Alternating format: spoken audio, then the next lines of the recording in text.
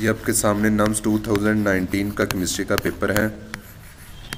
आज मैं आपको कुछ एम की डिस्कशन करवाऊँगा, ताकि आपको आइडिया हो सके कि नम्स का पेपर कहाँ से आता है और किन बुक से आता है। तो लिहाजा वीडियो को एंड तक ज़रूर देखें, ताकि नम्स के बारे में जो भी आपके शक और शक हैं, वो दूर हो सकें। तो चलिए शुरू करते हैं। सबसे पहला क्वेश्चन है the best standard for calculation of relative atomic masses तो हमने मैथ स्पेक्ट्रोग्राफ के टॉपिक में पढ़ा था। मैथ स्पेक्ट्रोग्राफ हम के टॉपिक में पढ़ा था कि कार्बन 12 को रिलेटिव एटॉमिक मैस कैलकुलेट करने के लिए एटॉमिक मैस कैलकुलेट करने के लिए यूज़ करते हैं। तो सबसे बेस्ट स्टैंडर्ड यही है। क्योंकि आखिर पे हम कार्बन 12 को स्टैंडर्ड लेके जो मई जो मैयड वैल्यू होती है, उसे कंपेयर करते हैं। तो लिहाजा इसका आंसर कार्बन 12 होगा। अगला क्वेश्चन है a single chloride free radical can destroy ozone molecule up to आपने इन्वायरमेंटल केमिस्ट्री के चैप्टर में पढ़ा होगा। इन्वायरमेंटल केमिस्ट्री का यूएचएस का यूनिट है। के ओजोन का एक मॉलिक्यूल एक लाख, एक क्लोराइड रेडिकल सॉरी एक क्लोराइड रेडिकल ओजोन के ओजोन मॉलिक्यूल एक लाख ओजोन मॉलिक्यूल को डिस्ट्रॉय कर सकता है। तो ये भी आपकी बुक की लाइन थी। तो बुक से ही पेपर आएगा आपको। ये नम्स का हो या यूएचएस का हो, आपको बुक से ही पेपर आएगा। अगला क्वेश्चन है water has maximum density at तो आपने इसको इस तरह याद रखना है हंड्रेड डिग्री सेंटीग्रेड से फोर डिग्री सेंटीग्रेड से ज़ीरो डिग्री सेंटीग्रेड हमें पता है कि ज़ीरो डिग्री सेंटीग्रेड पे नाइन परसेंट वॉल्यूम वाटर का ज़्यादा होता है तो यहाँ पे वॉल्यूम मैक्सिमम होगा। और यहाँ पे डेंसिटी मिनिमम होगी। अब यहाँ पे इसके उलट होगा। यहाँ पे वॉल्यूम मिनिमम होगा और डेंसिटी मैक्सिमम होगी।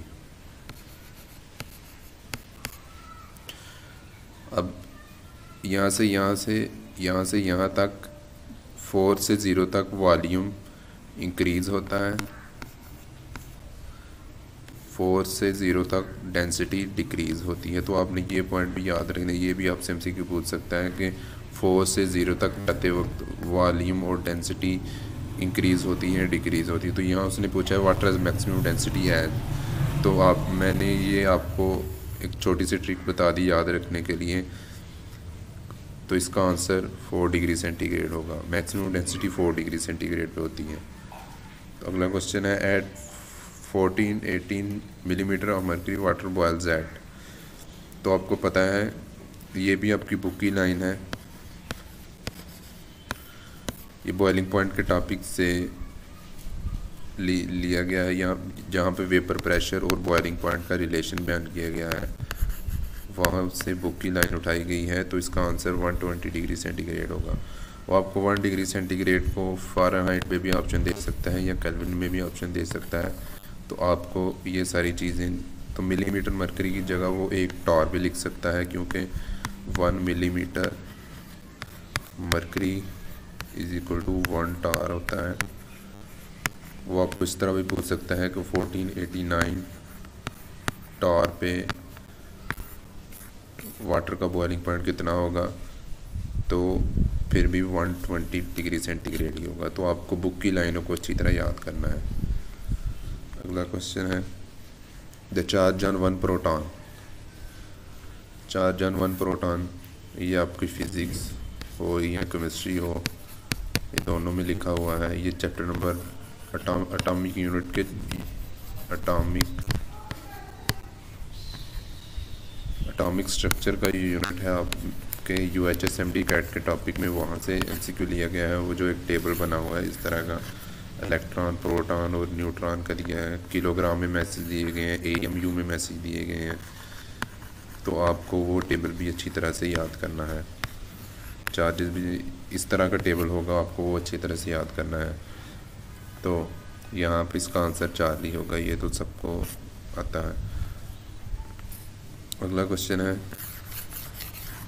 maximum number of electrons in given sub shell तो हमें पता है कि सब शेल कौन से होते हैं? सब शेल होते हैं। सब शेल एस होता है पी होता है डी होता है और एफ़ होता है। तो मैं फार्मूला ये है, आपने फार्मूला याद रखना है। अब ये फार्मूला कैसे है?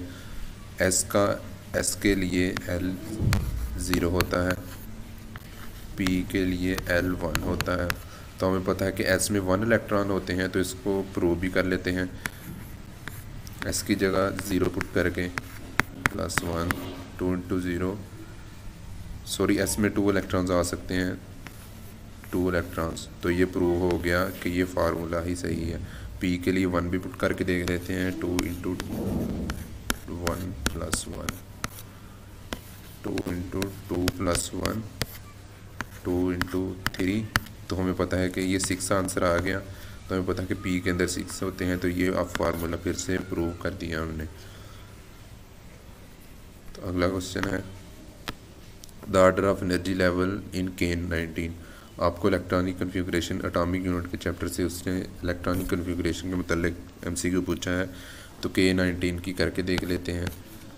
के नाइनटीन की one s two two s two two p six three s two three p six और फोर एस वन ये इलेक्ट्रॉनिक कन्फिग्रेशन है, उसने आखिरी दो शेल पूछे हैं तो आखिरी दो शेल फोर एस और फोर पी यहाँ पे थ्री पी है ये ऑप्शन तो बिल्कुल नहीं होगा। थ्री पी और फोर एस यहाँ पे पी नहीं है, यहाँ पे भी पी नहीं है। हमारे पास करेक्ट ऑप्शन चार्ली हो गया। अगला क्वेश्चन है the shielding effect of electron is responsible for हमें पता है कि शील्डिंग शील्डिंग इफ़ेक्ट क्या होता है? शील्डिंग इफ़ेक्ट ये न्यूक्लियस है। जो ये वेलनेस इलेक्ट्रॉन है, जो इन इलेक्ट्रॉन की वजह से न्यूक्लियर फोर्स को शील्ड करते हैं, यहाँ पे इस इलेक्ट्रॉन के लिए जो न्यूक्लियर फोर्स को शील्ड करते हैं, उसे शील्डिंग इफ़ेक्ट कहते हैं। तो शील्डिंग इफ़ेक्ट क्या करता है? ये तो हो नहीं सकता क्योंकि शील्डिंग इफ़ेक्ट आयनाइजेशन एनर्जी पे इफ़ेक्ट ज़रूर करता है। तो हमें पता है कि शील्डिंग इफ़ेक्ट नीचे टॉप टू बॉटम इंक्रीज होता है। और टॉप टू बॉटम इंक्रीज होता है और ionization energy ionization energy top to bottom decrease होती है। तो इसका मतलब है कि decrease ionization energy shielding alpha इसका ऑप्शन होगा। The shielding effect of electrons is responsible for तो अगला क्वेश्चन है हमारे पास। विच ऑफ़ द फॉलोइंग है zero dipole movement dipole movement हम देखते हैं कि पी सी एल थ्री में लॉन पेयर ऑफ़ इलेक्ट्रॉन्स होता है। एन एच थ्री में भी lone pair of electrons nitrogen पे वाटर में भी lone pair of electrons oxygen पे बी एफ़ थ्री पे लॉन पेयर ऑफ़ इलेक्ट्रॉन्स नहीं होता, इसलिए बीटा इसका ऑप्शन होगा। आपको ये याद रखना है कि जिस भी मालिक्यूल पे लॉन पेयर ऑफ़ इलेक्ट्रॉन्स आ जाए उसमें डाइपोल मोमेंट कभी ज़ीरो नहीं होता। डाइपोल मोमेंट उसका नॉन ज़ीरो होता है।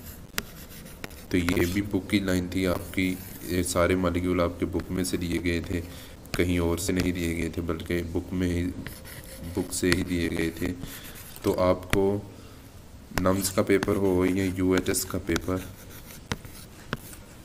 नम्स का हो या यूएचएस का एम डी कैट आपको बुक की लाइनों को ही अच्छी तरह याद करना है और बुक के कंसेप्ट को बुक के कंसेप्ट पर अच्छी तरह ग्रिप करनी है ताकि आपके दोनों पेपर आसानी से हल हो सकें। तो अगर आपको वीडियो पसंद आई है तो सब्सक्राइब ज़रूर करें और अपने दोस्तों से शेयर करना मत भूलें।